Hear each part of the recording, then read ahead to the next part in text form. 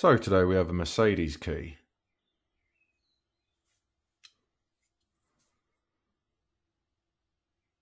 So press this button, pull the key, push the button again, push forward, get a screwdriver and push out. This has a 2032 battery, affiliate link below. Again, appreciated if you use that.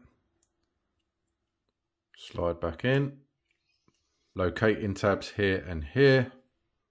Get your key.